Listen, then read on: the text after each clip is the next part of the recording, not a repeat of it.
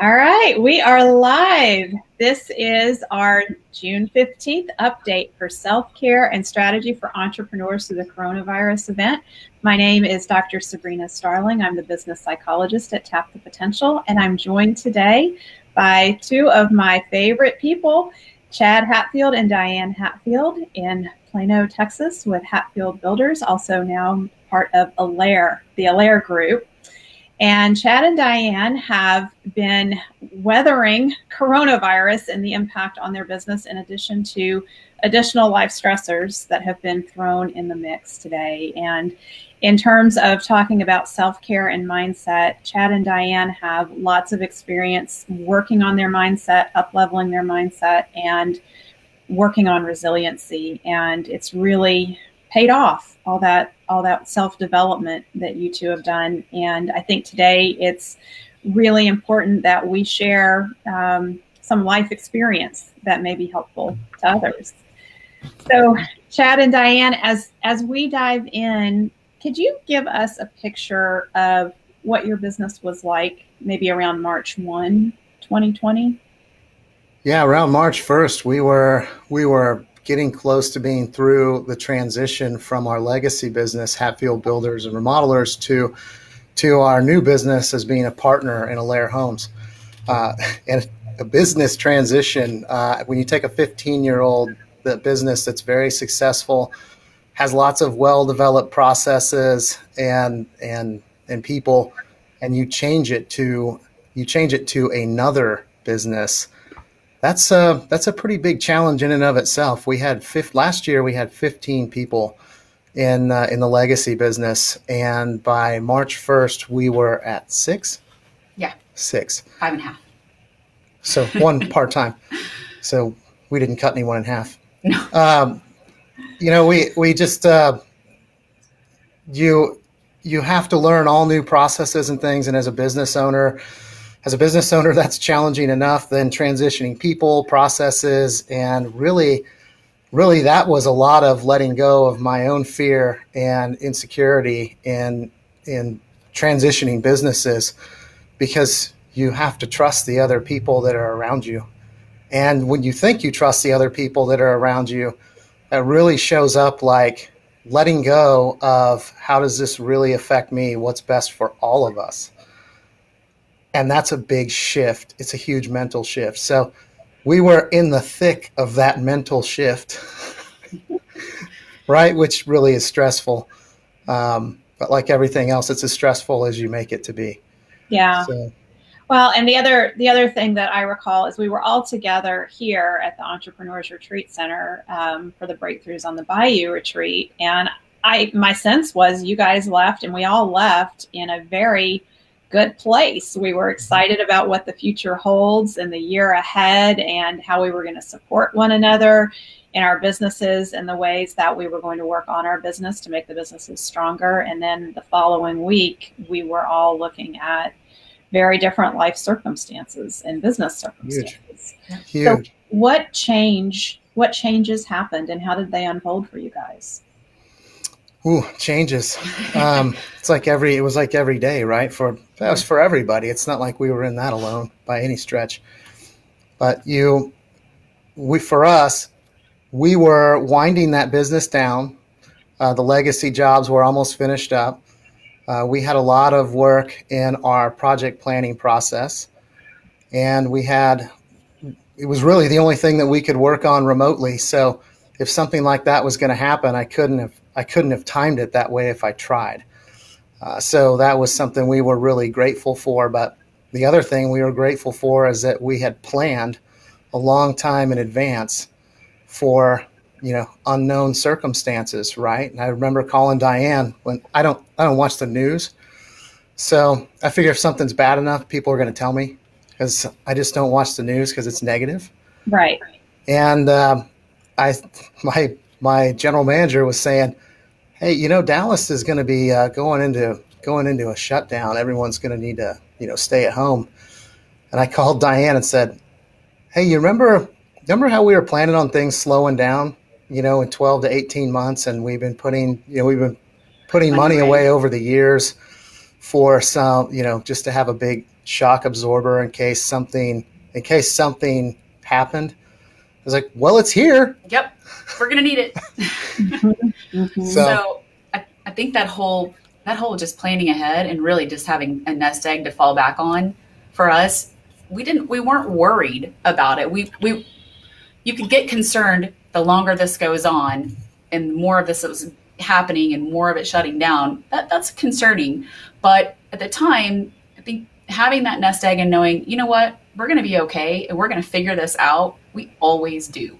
And the two of us mm-hmm. always figure it out. Whatever whatever life throws at us, we figure out. So I think that was a big deal is having that, you know, that six months or 12 months worth of, um, you know, just savings and things to just kind of live off of should things just go to hell in a handbasket, which kind of did for the society at least. Yes. So I've heard you guys say a couple of key things here. First off, you've said grateful for. I hear a lot of focus on gratitude and you guys focusing on well what do we have? What resources? What what is still good in our lives? And I really am a firm believer that a gratitude practice and, and a mindset of gratitude is key through for getting through circumstances like these and, and being resilient. The other thing is you planned ahead for unknown circumstances, which is very wise. We have a lot of folks in the Tap the Potential community and family of business owners that have done things like profit first and other strategies in their personal life and business life to plan ahead and have a good cushion. I heard you say six to 12 months of savings. And I'm really curious as you guys look to the future do you think you'll continue to maintain a six to 12 month cushion or would you go longer and more or what, what are you looking at for yourselves? So we, we'll just build that out more. Yeah. I and, mean, and it's, it's just, it, it was, it was very, you know, it's so easy when things happen that, that we, we don't know what the answer is going to be. Mm-hmm. It's easy to, you know, we, we don't know what the outcome is going to be. And because there's that hole in our mind of what's going to happen, our minds, you know, it's human nature. We fill in those holes with the most toxic, negative crap we can conjure up. Mm-hmm. And we could we could have sat there in you know we we could have just sat there and speculated and speculated and speculated and we would have never been right with what the outcome was going to be so what good does it do you know we had faith you know, Chad, you have said something in the past that has really stuck with me. It's never going to be as bad as we think it's going to be, and it's never going to be as good as we think it's going to be. It's always somewhere in the middle. Yep. The answer is always in the middle. Um, it, it is just, uh, man, business has proven that to me over and over and over and over again. That you know, you can like, oh my gosh, we have all these things that are going to happen. We just sold all these jobs. That's amazing. And then it's the it's the one that you were counting on. That there's no way that job's not going to happen, and it goes away, it goes away. Yeah. for whatever reason. And you know the ones that you hadn't counted on are the ones that come through, and you're like, how does this happen? Mm-hmm. So you know we we are. Diane said it. You know we we we're resourceful. We have faith in ourselves that no matter what, we're going to figure it out. Doesn't mean we weren't scared, just like everybody else. I mean, I think anyone who says they weren't scared about their financial outcome at the start of that, I, I think uh, I, I, would have more questions for. Except for maybe the liquor stores. Yeah, if you owned a liquor store, you knew you were about to be in great shape. right? Yeah. yeah. I just want to shout out. Um, we've got Steve Boussier here, and he's posted that we're stronger together. Absolutely, Steve. And we also have Melissa from the Tap the Potential team, Melissa Swire, um, and she's she's shouting out daily gratitude. She recommended a book um, to our team called A Thousand Gifts. I believe that's the name of the book. Melissa, if I'm wrong, please correct me in the chat. Um, and it's all about daily gratitude and a gratitude practice through some very trying circumstances. Um, well, you know, you know, Sabrina, that I I have to have small things to remember, and our marriage coaches have been really, really awesome about giving me small things to remind myself. And it's simple, right? Gratitude kills fear. Yes, love and gratitude kill fear. They are the opposite. The two cannot. So fear cannot coexist with love and gratitude. Um, I also want to shout out Richard and Gina Lynn May. Um, they are the marriage coaches that you're talking about. What is their website, Chad? It's Amazing Impact. A M A Y. I think it's Amazing Impact, Impact, Coaching, or you can look it up on your phone. Yeah, I can look it up here in a second. Yeah. Okay. Yeah, Diane. They, they are amazing.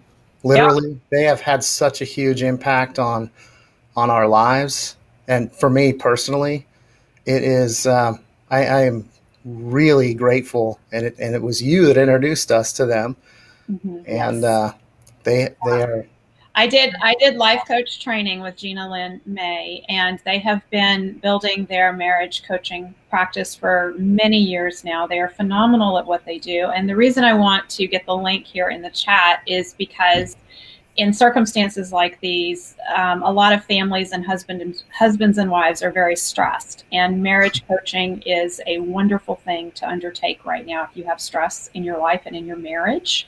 Um, it's a great opportunity to work on it. And Richard and Gina Lynn uh, are phenomenal at what they do. Not every marriage coach out there is great. So when you find one, and we know we've surveyed a lot of them. uh, they are. So take it from us. We're experts at finding marriage coaches. They're the best ones. I, they they have they have been able to open our eyes to things that we mm-hmm. were so blind to, um, and the honesty in which they will speak to your heart and what's really really really important deep down underneath and it's not just about marriage for for us coaching them it is life it is all mm-hmm. things life. It's business it's kids it's everything. It's how we relate to our parents and our siblings and all of that. And i think that has been so much more than what we had expected from them. And they have been just awesome and they're just such a great support team and just full of perspective. So i think that simple message that they send out is is really really really powerful. Well it's it's really that's a lot of you know we talk about resilience during during this time you want to test your marriage lock yourself in a house with your spouse for about three months absolutely right so so I found their website. I'm okay, going to post it here. It's amazingimpact.com home forward slash coaching is the link that I've posted. So anyone who's looking for good marriage coaches, um, highly recommend them. And Chad, you were saying being cooped up in a house together. Um, yeah. Well, it's it's a lot of the perspectives that they've shared that they've shared with us, and questions to ask ourselves.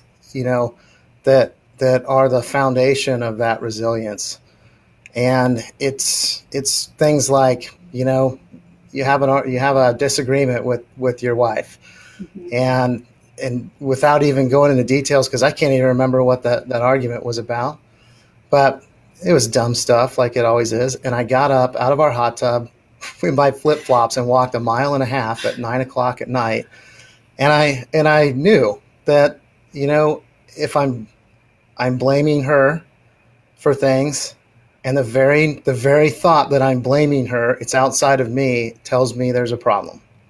Yeah. And I walked back to our house and sat down on the stairs out in front on the concrete steps out in front of our house. And I, I knew, I already knew what I needed to do. I knew I needed to just walk up and hold her and tell her that I love her and it's going to be okay. Because she was just, she's a little girl in a state of fear. Yeah. And that's what she needed in that moment. And it took me five minutes to let go of my own internal crap and say, I love my wife. I'm just going to walk in there. No matter what, I'm going to wrap my arms around her and tell her I love her and it's going to be okay. And that's what I did. And be present with her in that moment and put totally 100% present.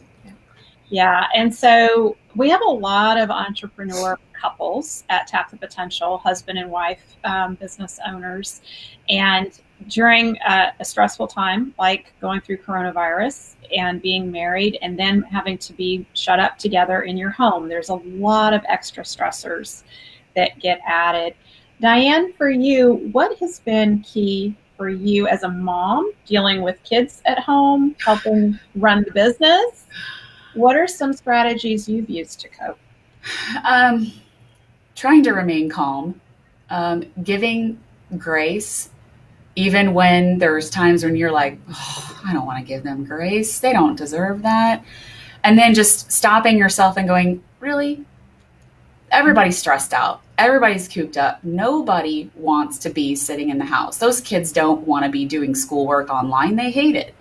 Um, they're they're cooped up just like we are, and it is just it's really been just about giving grace, staying calm, and being forgiving, and just saying. And if you screw up, say, I'm sorry, I really screwed up. I didn't mean to talk to you like that. That was not cool.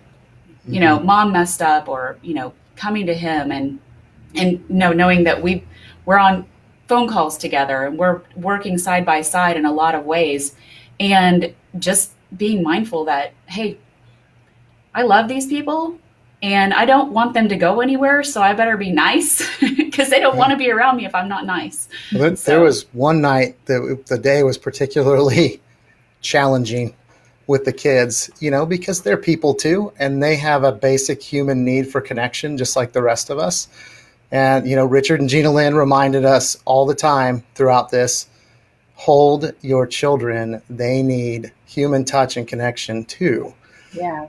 And so we, we were having a challenging day with the kids, and Diane and I were sitting in the hot tub, and Diane, which was surreal, we wrote out most of the coronavirus lockdown in our hot tub um, which is totally surreal, but that's what it was. Glad we put that pool in.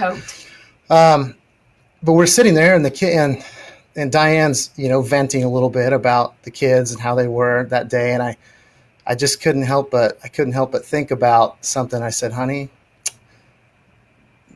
we love the children. We will never have the opportunity to spend this much uninterrupted time with our children again the rest of our lives, especially at this age. How will we reflect back? There will be a tomorrow after this, and how are we going to reflect back on how we used this time with them and spent this time with them? How do we want to remember that?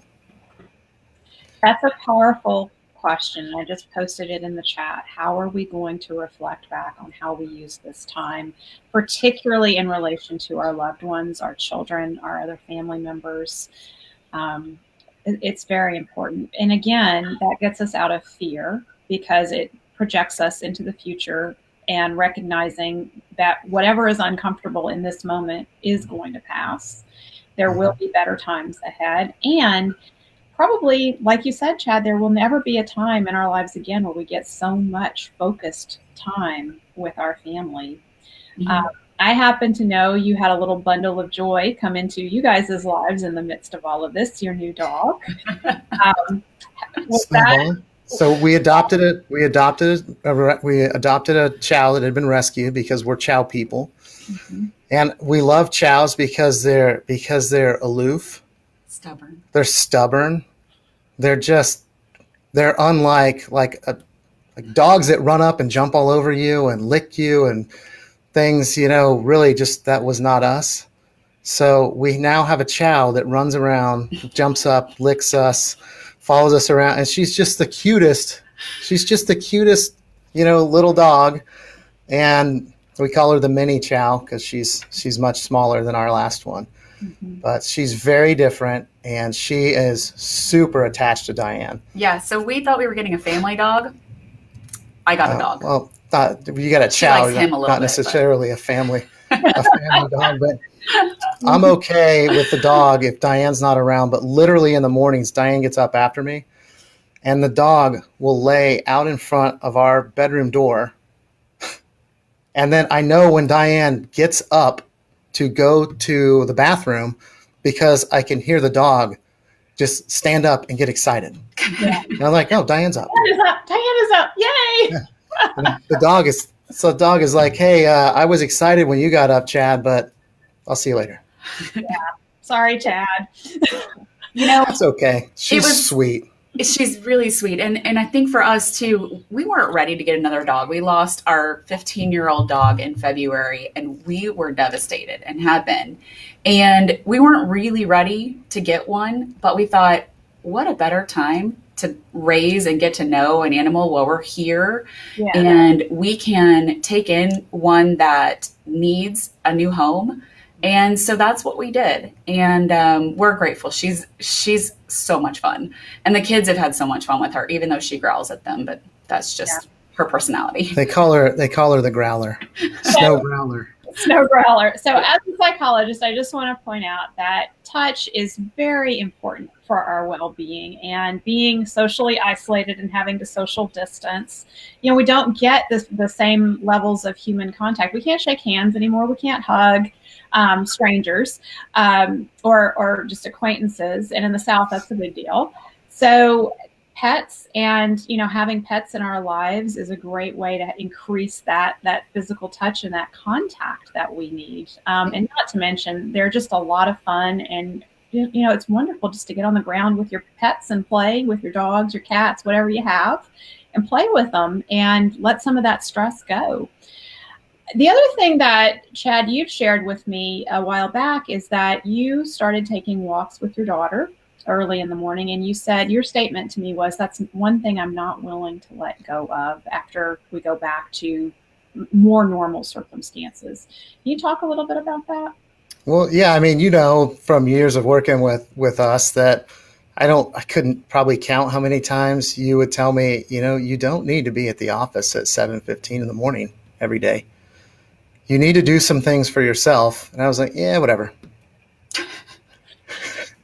So yeah. it only took it only took a virus lockdown to break me in that habit. But um, it's really there's there's a lot of there's a lot of suffering and things that come out of that come out of this whole situation. But there's always there's always good too. And that good for me is it's changed my habits. I no longer have to I no longer feel that self internal pressure to be at the office all the time. It's I, I would literally feel guilty before if I wasn't at the office, if I wasn't working, if I try to work from home, oh my God, no, I'm skipping school. Mm-hmm. Right. And it's, you know, finding ways to be, be productive at, at our home office and doing things for me. And, you know, when I would get to walk with Kate and connect with Kate, I mean, that's something I would have, I would have never done, you know, before that. Mm-hmm. Well, the kids have to be at school early. Yeah, the kids have to be at school. They, Kate and I would have to yeah. would do it occasionally, but it would have to be, you Super know, early. six in the morning, and I'm fine with that, but not everybody else is fine with that. yeah, yeah. So, is there anything else that you have shifted in your lives that you have found is healthy and you want to keep doing it? Yeah, I think just I think just intentional time together after mm-hmm. we're done with work every day and we're yeah. not turning on the TV. We are going outside, playing in the pool. Kids are playing in the pool with us. We're listening to music. We're reflecting back on what's been going on, what happened, and just being together. You know, it really is. It's just being together, intentional time. We did that most of the weekend this weekend. We worked on our backyard a little bit, and then we got in the pool. And same thing yesterday. We had some fun time with some friends, and then we came home and we were just happy to be just together, just enjoying the, the sun and how beautiful it was out, even though it was hot, and just where we were and getting ready to, you know, clear our minds to start our week. So it was it was a good um, good thing. Yeah, that's that is a wonderful way to end your day, and something that I, I would venture most of us were not doing prior to coronavirus. What are in terms of um, thinking about entrepreneurs and when we were all together um, at the Breakthroughs on the Bayou retreat, what are some lessons that you took from the entrepreneurs in that room? Because we had quite a bit of conversation about resiliency and coping with challenging circumstances and overcoming challenging circumstances. Is there anything that stands out to you guys from what was shared there? Man, so much. Yeah, I have to go lot. back and look at all my notes. I have like pages and pages and pages of notes of things that I, I took away, and I think. Um, well, it's the small intangibles yeah, of the conversations that you have with everybody mm-hmm. about about uh, uh, you know how they how they deal with things, and they're open and honest and candid with you, and and and you are the same way with them, and it's it really is the validation that hey, we're all human beings. We're all going to go through painful times. If you expect there not to be, then, um, well, I guess your life's going to be going to be really challenging all the time. But everybody goes through. Everybody goes through big changes in life. Life is change. Yeah, well, and you know, as you say that, what strikes me is just the value of having a community of entrepreneurs that you connect Absolutely. with that support you. Because one of the beautiful things that has happened spontaneously is Steve Bousquet, who's also one of our retreat alumni, mm-hmm. uh, just started hosting cocktail hour on Friday evenings in our alumni group for our retreat participants. Um, every Friday for the last couple of months, he's been um, on there, and it's been a great way for people to come together and bond and support each other. Um, stay connected. Mm-hmm and stay connected. And that I think that is the key for entrepreneurs because a lot of times we feel like nobody really understands what we're going through, nobody gets it. And so finding others to connect with, and like Chad and Diane are sharing, we're all human, and recognizing that we all have these these different challenges. Um, what what other you've had other life circumstances going on that you've dealt with in the middle of this? And I, I know other entrepreneurs listening have had lots of life circumstances happening in the middle of all of this. Absolutely. There any around that? Yeah so the we had the whole business transition going on you know from fourth quarter last year up through now. That that would have been enough in and of itself. But you know it's it's really been a good test of of everything that that I've been working on for the last eight years because you know we had the business then our we lost our dog that was our first child uh, which I had even totally forgot about that then the coronavirus and all the stress and things involved in that we and lost a bunch of projects that were lost planning. A, we lost a lot of projects. A lot of stuff and, got put on hold or just went away, which sucked. well, just sucked. I mean, we can look at it that way if no. we want, but um, there's there's there's a reason that those things went away, and there's other opportunities that came back in. So mm-hmm. you know, three weeks ago on Saturday, we were we were you know just normal, totally normal Saturday at home. We are going to hang out in the pool in the afternoon, and Diane and I were out cleaning the gutters, and James, our eight year old, at about eight in the morning or eleven in the morning, eleven maybe twelve, I don't know comes and tells Diane that he's got he's got a tummy ache, and you know it was about two o'clock. He was rolling around on the floor in the mm-hmm. bathroom upstairs, throwing up, screaming. I didn't and, think anything of it at first because he complains about that stuff all the time, especially when I ask him to do a chore. He's like, "Oh, my stomach hurts." So, you know, I was thinking he was trying to get out of you know putting away his dishes or something. This was different, though. and I went, he kept complaining, and I thought, oh, this is kind of weird. Maybe he's got strep or something because that's how they act when they have it. And I went outside to help him. He was still complaining. I said, okay, buddy, I'll come back in like five minutes. I'll come check on you. And when I did, he had been throwing up, rolling around on the floor in the bathroom, and he was just not our kid. Like, that's not how he acts. And um, so, you know, just something inside of me it was like, you know, I think I got to take this kid in. Like, I, I don't think I want to let this go. And when he got on the couch after a few minutes of this, I'm trying to assess what's going on. And he said, Mom, I just want to go to sleep because if I take a nap, then it'll feel better. And that was like, ooh, something's really wrong. So I go outside and I'm like, Chad, I'm taking him to urgent care. And he was like, What? What's wrong with him? I was like, I don't know, but I'm going. He's not right. Mm-hmm. Finally got to urgent care. And of course, there's nobody in there. And I, they, nurse practitioner took one look at him for 30 seconds and said, you guys got to go to the ER. This is he's not okay, and I don't have the capacity here to to treat what's going on. And um, it may be nothing, but eh, he's not looking so good. So here I am, middle of coronavirus. You know, who wants to go to the hospital? And mind you, we were outside cleaning the gutters. Yeah, it was really hot. It was humid, gross. So Diane's like just wearing workout clothes. I'm wearing a t-shirt and carrying our child into the ER at Children's so, Medical Center. Yeah, we went to Children's Medical Center and jumped through the hoops. Uh, learned that he had a, a, small bowel obstruction and he needed surgery like now. And like the ER doctor wasn't answering questions for Diane. He's like, he's like, I, I, I gotta go. I've got to go. I've got to call the pediatric surgery team. We, we, we have to do this now. And I'm just standing there by myself in the emergency room and I'm FaceTiming Chad with the doctors each time they would come in and start talking. and he's in the pool because they don't have, they can't come. Kate, it's only one parent. Kate and I were just. it's what, one parent. What do we, what do, we do? It's what are we going to do? And I think it was just up to us to just say, okay, we're going to stay calm. Yeah. We're going to trust. And he is in the best possible place. And it was a big thing for me to let go of any anxiety I had. As uh, some of you may know, but I'm a registered nurse. I've worked in hospitals for a long time, and surgery is not something I take lightly. And picking doctors for our kids is super, I'm super careful with it. So here I am, strange hospital, strange doctors, don't know a single one of them, and I just had to trust. And that's what we did. Well, you didn't have to. Well, you chose to. I decided to, yes. Yeah. And staying calm throughout all of that. Poor Chad having to be on the other end of FaceTime with people he doesn't know. No, but everybody's wearing a mask, so you can't see anything on anybody's faces.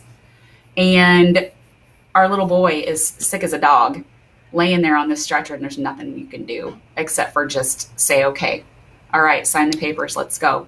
Yeah. It was really, it was really by about eight o'clock. The surgeon, we, we get to meet the surgeon by, I get to meet him by FaceTime. And he's telling us that this happens for one of one of two reasons. This time we know he's going to have surgery, um, and he says this happens for one of two reasons. One's a congenital formation, and the other most common thing is tumors. And you're you're like, okay. Mm. So thank God that's not what it was. And he wound up having surgery, and by one o'clock in the morning, he was out of surgery. They had removed 12 inches of his small intestine and, and he was asking for the Wi-Fi password. And he was asking to play on play on a phone. So we knew that everything was going to be okay. yeah. yeah. little kids are so resilient. And oh my gosh. I, I just want to comment on how hard that is to go through. Number one, that's a very scary thing when something like that happens with your child, but then not to be able to be together because of the hospital restrictions. Chad, you couldn't even go up there. Um, and then. Well, the OR nurses told Diane at about yeah, it's like 9:45. They're like, "Call your husband and tell him to drive up here. He needs to see him before he goes in." And they went and got him. And they went and broke the rules. Broke the rules and, got, and, got, and took me in. But you know, I Kate, poor Kate, our 11 year old daughter, had to sit in the parking lot in my truck. Yeah, super attached she's, to him. She's super attached to James. So both of them. Yeah. It was, uh, you know, it. Kate and I, Kate and I were. I had a lot of good conversations with her that night uh, she was really flipping out um, at many times, and she just said, "Dad, did did he say brother could have cancer?" I said, "You mm. know, Kate, that's that is a possibility." We don't know what's going to happen. And I said, because we don't know what's going to happen, our mind's going to fill in all the holes with the most negative, toxic things that we could possibly come up with. And we could sit here, get out a pad of paper, make a list, write down all of the outcomes that could happen. And we'll probably be wrong on every on every one of them. And is that going to help us right now? And she said, No. She goes, Aren't you afraid? I said, Of course I'm afraid. Mm-hmm. But I refuse to stew in the toxicity of that speculation. Mm-hmm. Yeah. Because it's not going to do us any good, and I won't be in a good mental state, and I won't be there to make good decisions and support Diane. And I said, so I said, instead, Kate, let's talk about the things that let's talk about the things that we're grateful for, and let's talk about the things that that we have right now, the resources around us. I said, I have faith that mom has taken him to the best hospital. I have faith that he's receiving the highest level of medical care possible. I have faith that they've hired the right surgeon to do this, and and I am grateful that that man was sitting in his house this afternoon on call for their whole surgery team because they had to call in. I don't know how many people. It was a lot. Probably judging by the people. judging by the bills, it was a lot. um, the bills that keep coming. Oh, there the, more and more people there than you knew. He's the he's the hundred thousand dollar man at this point. Yeah. So and we haven't gotten all the bills. But you know, it's it was. I said, Kate, the surgeon could come out and tell us that he he was wrong, and he was able to, you know, pull his test his intestine out because it had telescoped inside of itself, and everything's fine. And I said, so let's pray for that. Yeah. But she goes, Well, Dad, what if he has cancer? And I said, Kate, I am going to just take this one step at a time. And only as things come to me, I will not speculate and I will not talk about the speculations with you. What powerful lessons and conversations, Chad, um, not just for Kate. And I so appreciate you sharing that here because for everyone listening, these are important things to think about that speculating about all the negative that could happen in the future does not do any good. It just, and you said it, I need to preserve my mindset so I can be here for, for James, for Diane, for Kate, and make the best decisions possible as things come to me. That's powerful life lessons.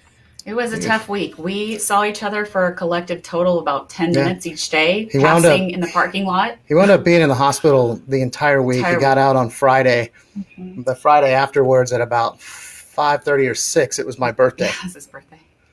But he's, uh, we spent the entire week in the hospital. Diane was there at night. I was there during the day. And I saw Diane in the parking lot at the hospital twice, twice a day for about five minutes at a time. For your dates. As you yeah. yeah. Yeah. And Kate was there. So there was no, you know, Kate, was, Kate you know, poor just, Kate was, Kate got to see me, then Kate got to see mom, and Kate And that was me. it. And she was longing for her brother, and she was so worried about him. And um, it was a tough week. It was a tough week for him, too. I know how emotionally upset he was. In fact, we had um, some friends of ours sweetly gather up at the hospital, and they came and um, made some posters and said hi to him through the window because he couldn't go outside and nobody could come in. And oh, it was so sweet.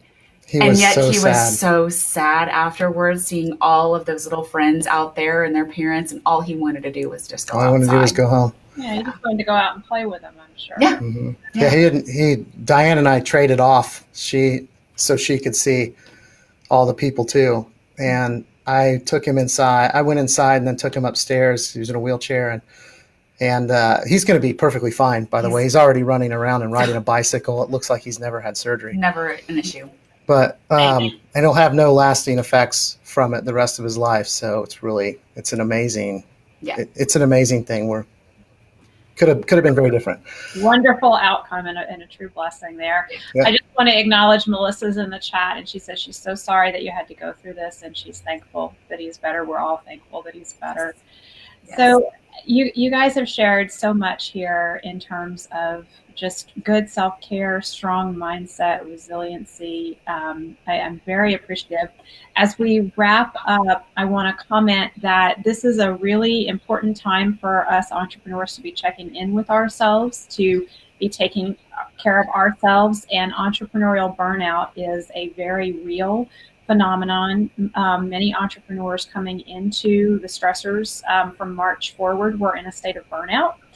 And it's important to know if you're in a place of burnout. So if you want to check in with yourself, you can take our assessment, our entrepreneurial burnout assessment at tapthepotential.com forward slash assessment. It is a free assessment. You'll have the opportunity to have a debriefing with Darren Hopman, who's our success team lead. And what the assessment will show you is how how your business really is set up to take care of you. So the more symptoms of burnout you have, the less your business is taking care of you, and the assessment will show you some critical areas to bolster and strengthen in your business so that your business does a better job taking care of you. Because after all, work supports life, not the other way around. And if there has been one massive life lesson that I think we're all experiencing through coronavirus is it is that work has to support life, not the other yeah. way around. And don't don't once you start to identify fear in your life, you'll figure out how how pervasive it is, and you know the having negativity. oh the negativity negativity negativity begets negativity. I think it was a uh, Trevor. I read a book a couple weeks ago, Trevor Moawad's book. It takes what it takes. That's a great book on neutral thinking, right? Not positive, not negative, neutral thinking. I, I love that book. And he's he at one point uh, in that or one of his podcasts with Ed Mylett, he says, uh, "Stop saying stupid shit out loud." ah.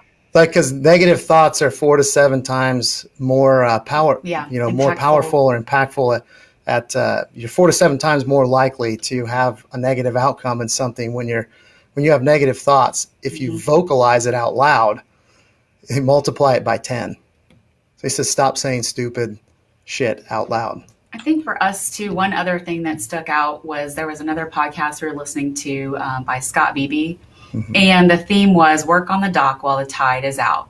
Yeah, and the yeah. tide has been out, and we've been working on the dock. Yeah. So take this time. Take, take this time. Take the time that we're not spending hustling in you know all of our projects, you know, neck deep in it because we don't have as many right now in construction. That's restarting back, but um, at the time, you know what are we going to do? How are we going to take the time to work on our business and work on ourselves and work on our relationship with our kids and with each other? And that was something that I think has been a theme for me that I keep thinking about um, as this is. And really, the tide's still out somewhat. And so I'm going to keep working on the dock, which is me and our business and us and kids. And if you keep that theme going, then, you know, good things can happen. Yeah, and you know, there's there's opportunity in every market. It may not be what you expect, may not be what you want sometimes, but there's opportunity in every market. You know, what are you going to do to find it?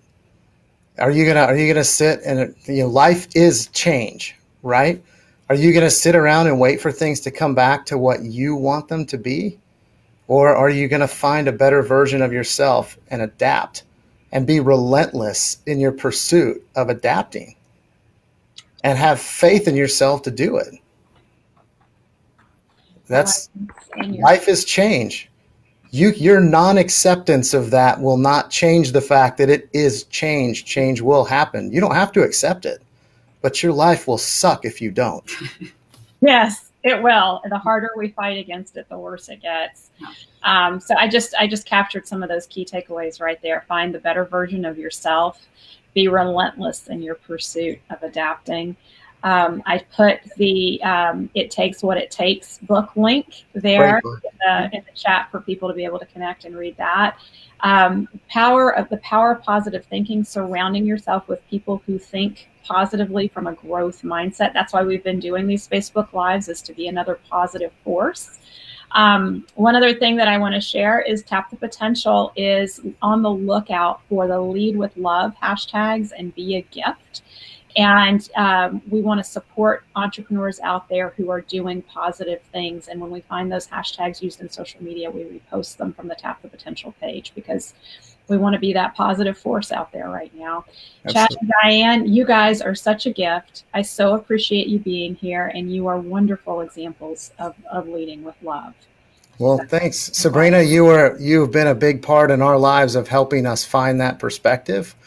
Seeing and things that we were blind I can't, to. You know, shining a mirror in my face sometimes the things I didn't want to see, but um, that's okay. I, I, needed that, and uh, you've been a huge part of it, and we we are very grateful. We're very grateful for you. Thank, Thank you. you. Yes. Yeah. Thanks, guys, for being here. Anytime.